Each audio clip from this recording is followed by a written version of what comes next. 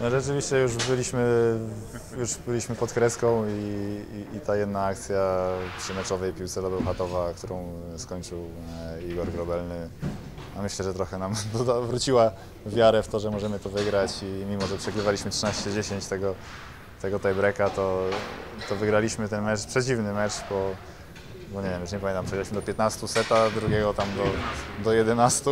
Na tym poziomie nie powinno się to I, i, myślę, że to nie był najlepszy mecz obu drużyn.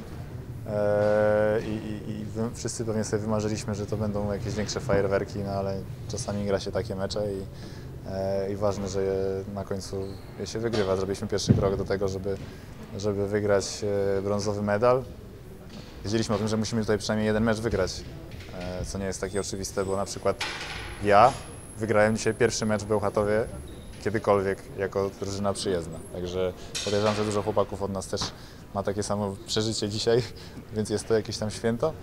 Eee, ale ze świętowaniem jeszcze musimy poczekać, bo, bo to jest dopiero tylko pierwszy krok. Tak jak zaczęliśmy ogólnie pierwszego seta i tego trzeciego seta, moim zdaniem nie mieliśmy prawa w ogóle wygrać tego meczu.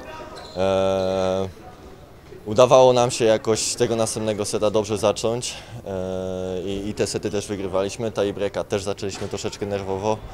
Eee, jakimś cudem, nie wiem jak, udało się wygrać jeszcze tego tiebreaka. No mówię, no, moim zdaniem nie, nie, nie mieliśmy na pewno prawa wygrać tego meczu, ale no, cieszę się, że, że jednak się udało i już jesteśmy tym, tym, tym jednym krokiem troszeczkę dalej, więc no, ja się cieszę. Trochę emocje jeszcze trzymają mnie, ale To było pierwsze spotkanie, w jakim zagrałem od bardzo dawna. Była duża odpowiedzialność, e, było bardzo, bardzo trudno się przygotować psychicznie do tego, że będę musiał grać, ale, ale starałem się o tym nie myśleć i jakoś się udało. mam nadzieję, że Bełchatów będzie mniej mocno serwowało, bo dzisiaj to naprawdę nawet patrzyłem czasami jak se- sęka złapałem, jak szybko ta piłka leciała, no to one leciały wszystkie po 114, 115, chyba nawet e, raz było ze 120. No ale cóż, no mam parę dni, żeby potrenować na maszynie troszeczkę, bronienie piłek tylko w górę. No i zobaczymy, no mam nadzieję, że, że, że Bełchatów się nie odnajdzie u nas na hali i że będziemy mogli to jakoś wykorzystać. Taylor prezentuje bardzo wysoki poziom. E, No, marzę o tym, żeby mu dorównać. Na pewno będę starał się go zastąpić jak najlepiej i w Warszawie liczę na to. Jestem pewien, że wygramy.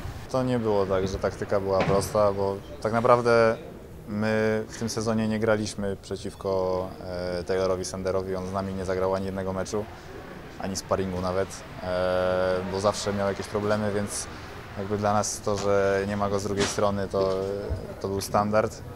E, oczywiście był jeszcze Milan Katic, który nie mógł, nie mógł dzisiaj pomóc, ale, ale młody Sawicki e, pokazał charakter i, e, i myślę, że był ważnym ogniwem e, drużyny z Bełchatowa i, i też dostawał ważne piłki od, od Grześka Łomacza. W ważnym momencie świetnie grał zagrywką, świetnie na przyjęciu i, i myślę, że, że przez to też nam się grało bardzo, bardzo trudno, bo, wiadomo, że każda jakby je- jego dobra akcja nakręcała ten zespół i była czymś takim dodanym do, do gry i do atmosfery w Bełchatowie.